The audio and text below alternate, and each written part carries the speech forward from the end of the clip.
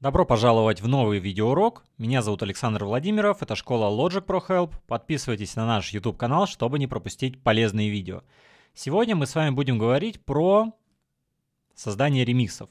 Многие задают вопрос мне, как создать ремикс, и думают, что создание ремиксов, оно чем-то принципиально отличается от создания трека. На самом деле ремикс и трек пишутся абсолютно одинаково с технической точки зрения. Разница только, так скажем, в правах. То есть, если вы, например, взяли вокал из чужого трека, из чужой песни и сделали, скажем так, трек да, с этой самой акапеллой, то у вас получается ремикс. Ну, или, как еще иногда говорят, бутлег. Это неофициальный ремикс.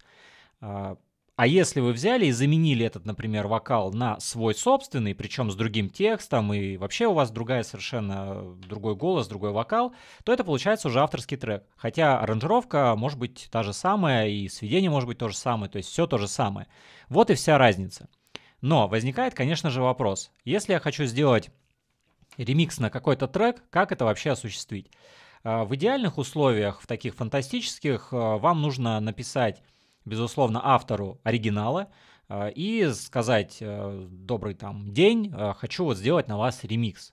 И, собственно, он, этот человек, да, если он согласен в том, чтобы вы сделали на его композицию ремикс, он вам отсылает аудио а, дорожки своего оригинального трека, то есть отдельно вокал, который он записал где-то на студии, там мелодию, если она необходима, ну и какие-то отдельные там дорожки, например, каких-то партий, не знаю, гитары, если она очень важна в оригинальном треке. И вы делаете ремикс.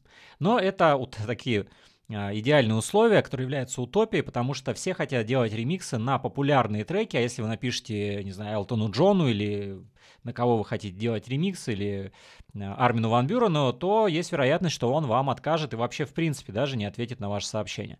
Тогда, если так получилось, мы берем дело в свои руки и пользуемся искусственным интеллектом, который в последнее время очень сильно развивается. Мы заходим на такой сайт, он не единственный в своем роде, вы можете просто вбить в гугле или в любом другом поисковике удалить или вырезать вокал из трека, вам выдаст кучу сайтов. Я рекомендую вот этот сайт, он мне лично нравится, работает он достаточно хорошо.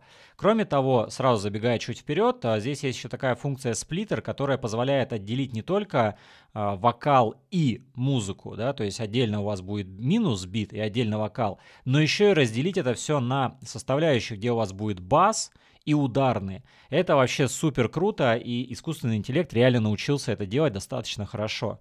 То есть у вас может быть отдельно партия баса и партия ударных, из которой вы тоже можете что-то сделать и микшировать.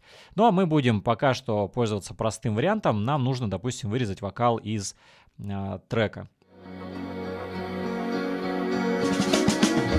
Доступ ко всем курсам школы Logic Pro Help всего за 990 рублей в месяц. Да, это реально.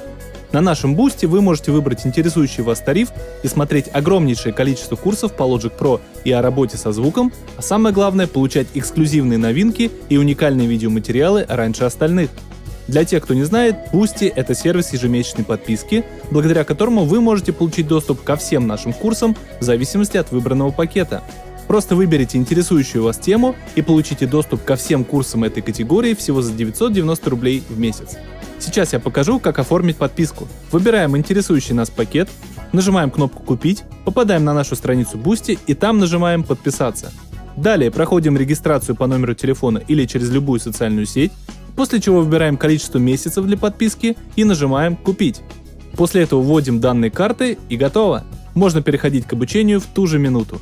И помните, что в каждом пакете количество курсов будет регулярно пополняться. Получи все необходимые знания для создания качественной музыки прямо сегодня по самой выгодной цене. Немного ждем, и у нас появляется отдельно музыка, то есть отдельно минус бит и отдельно вокал. Нас интересует вокал. Мы можем его здесь прослушать, но можем сразу скачать.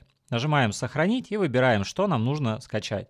Либо сразу все, либо вокал. В данном случае только вокал. Затем мы этот вокал перетаскиваем непосредственно в Logic.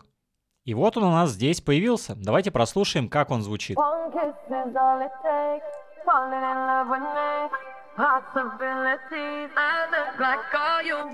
На самом деле так и должно быть. Если вы знаете эту песню, то в самом начале вокал выходит из-под фильтра.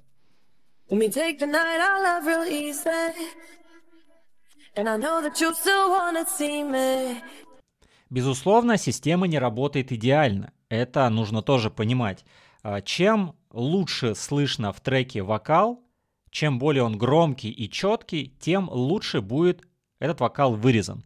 Если вы берете не знаю, какой-нибудь аплифтинг транс, где куча звуков, где все очень плотно, где все, и особенно вокал очень, что называется, глубоко посаженный, тогда, конечно, там, скорее всего, корректно этого не будет вырезано. Но чаще всего мы делаем все-таки ремиксы на какие-то популярные коммерческие треки, а там вокал очень громкий, и там он вырезается достаточно хорошо. Кроме того, очень важный момент, что, в принципе, для написания ремикса такого вокала вполне достаточно, потому что все равно там будет еще обработка какая-то, и в целом это на самом деле а, вполне себе нормально и вполне себе вариант. Вот и все. Вы можете задать вопрос, и что, а дальше-то что, и что, ремикс и все, и готов? Ребят, дальше вы берете и пишете просто обычный трек. Как обычно, вы делаете а, какие-то мелодии придумываете, подбираете аккордовую прогрессию, делаете основную лидирующую мелодию. Единственное, что нужно понимать, в какой тональности сделан трек. Но даже здесь нам этот э, сайт помогает понять, а какой, во-первых, темп у оригинального трека, в данном случае 124 BPM, и какой ключ? Ну, это тональность, да, фа мажор. И вы подбираете аккорды, подбираете мелодию в тональности фа мажор. Если вы не знаете, что такое тональности, что такое вообще фа мажор, то, безусловно, вам нужно к нам на курс по музыкальной теории, у нас такой есть, поэтому очень рекомендую его посмотреть. Также на нашем YouTube-канале вы можете посмотреть отдельные ролики по муз-теории, они тоже будут вам полезны, но общую картинку, безусловно, вам даст курс. А, также отдельно я расскажу в другом уже видео на нашем YouTube-канале, как подогнать, а, например, темп этого вокала под другой темп. А, то есть если темп этого вокала 124, а я хочу написать ремикс, например, в темпе 140, как мне это сделать? Это я расскажу в следующем видео. В остальном, повторюсь, ремиксы пишутся точно так же, как и обычные треки. Ничего здесь сложного, никаких секретов нету. На этом все. На сегодня с вами был Александр Владимиров. Школа Logic Pro Help. До новых встреч!